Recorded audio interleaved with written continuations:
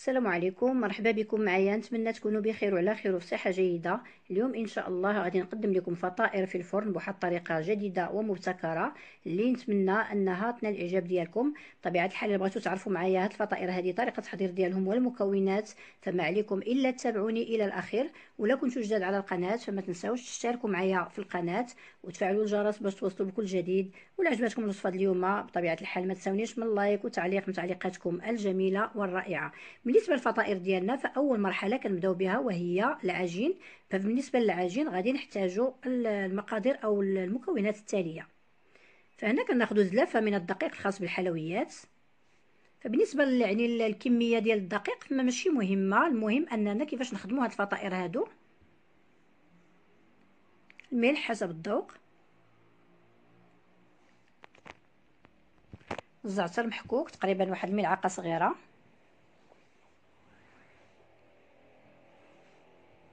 نص معلقه ديال الفلفلة الشونية نصف ملعقه من السكر حبيبات معلقة صغيرة عامرة بخميرة الخميرة الفورية زيت الزيتون ما يعادل واحد الملعقة صغيرة مملوءة إلى ملعقتين وغادي نعجن العجين بالماء دافي حتى كنحصلوا على عجينة اللي هي مجموعة. فتنضيفوا الماء عبر المراحل باش ما نحصلوش على عجينة اللي مرخوفة.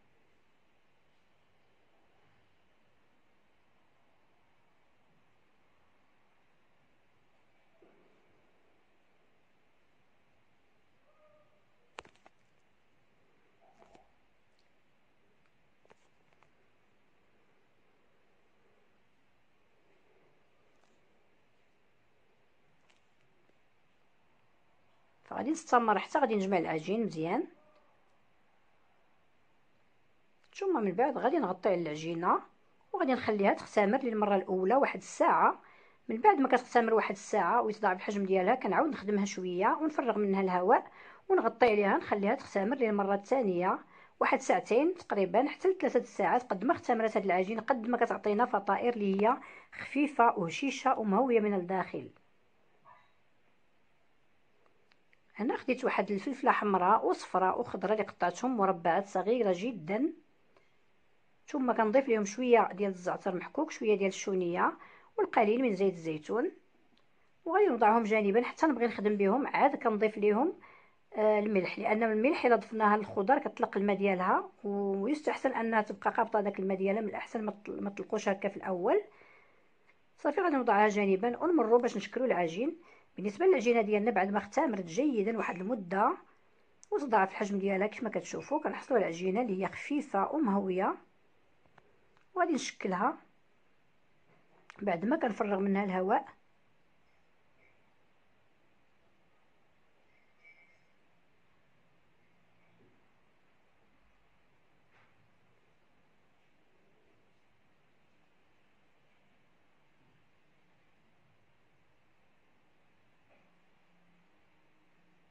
هنا غادي ناخذ القليل من السميدة عفوا رقيقه غنستعن بها باش نشكل العجين.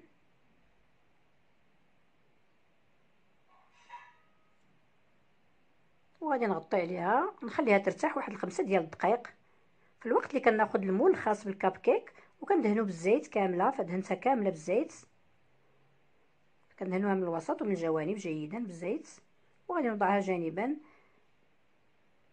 بالنسبة للعجينه بعد ما ارتاحت فغادي نبسطها كنستعمل بالسميده الرقيقة.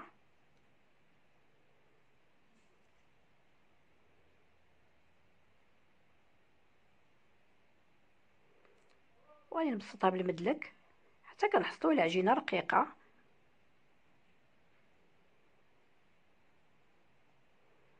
فقد ما رققناهم قد ما مزيان لأن هاد الفطائر كيغلاضوا شوية تيتنفخوا مع الطياب. فقد ما بسطناهم ورققناهم كنحصلوا على فطائر اللي هي أحسن.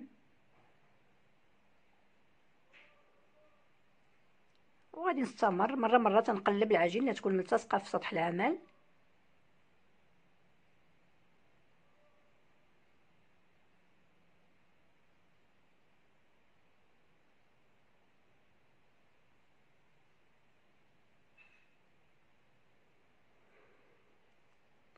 هنا كنوضع المور كنقيس القياس واش يعني واش نزيد نبسط ولا مازال. صافي بركة. أنا حصلت على عجين اللي أكثر من قياس ديال المول. هنا غادي نجيب واحد الجرار ديال البيتزا وغادي نقطع مربعات في القياس اللي غادي يدخل ليا في هذوك الدوائر ديال المول تاع الكاب كيك. تقريبا نقطع مربعات فيهم تقريبا واحد سبعة على سبعة تقريبا.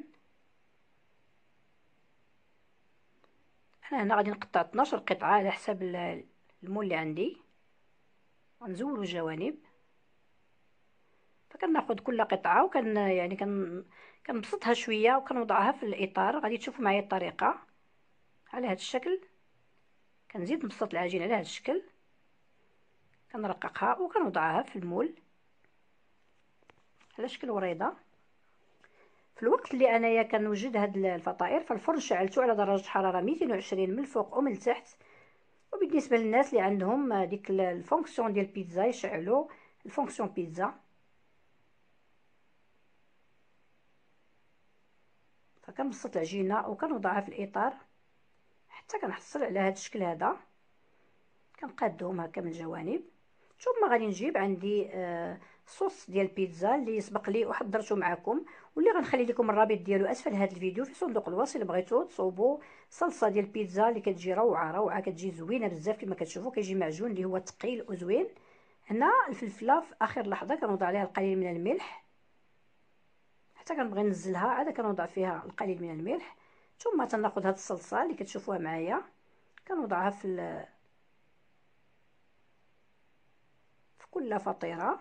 كنوضع كميه واحد ملعقه صغيرة في كل فطيره فهاد الصلصة هذه راه كتعطي مذاق رائع لهاد الفطائر لأنني كن كنحضرها بالزعتر وب ب... يعني بأعشاب اللي كتعطيها واحد المذاق أكثر من رائع. فما عليكم إلا تزوروا ل... تشوفوا الفيديو. هنا كنضيف قطعة من الطون أو التونة. تقدروا يعني تنسموا باش ما بغيتو كيبقى لكم الاختيار. أنا هنا عندي الطون خدمت به. كنوضع قطعة في كل آه، فطيره ثم غادي نجيب الجبن. كنوضع كميه من الجبن.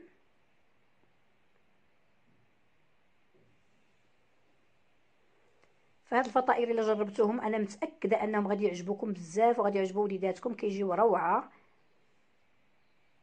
وشي حاجة جديدة هكا اللي كنقدروها كنحضروها. كنوضع كميه من الجبن.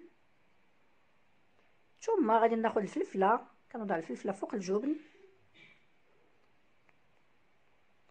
وبعد ما كنوضع الفلفلة فأنا غادي ندخلهم للفرن كيطيبوا فالوقت اللي تيقربوا صافي غادي نقرب نخرجهم من الفرن.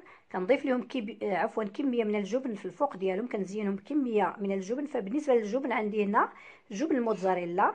صافي ندخلهم يطيبوا ونعاود نضيف لهم كمية من الجبن ندخلوه حتى يذوب ونخرجهم. تشوفوا معايا الشكل النهائي ديالهم.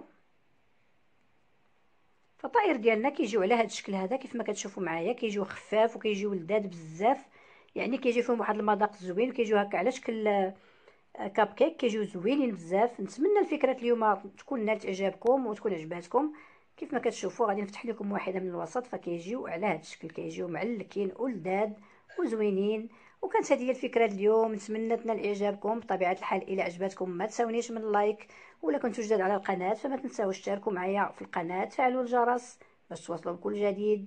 وما بقى لي الا نقول لكم السلام عليكم وإلى فيديو قادم إن شاء الله.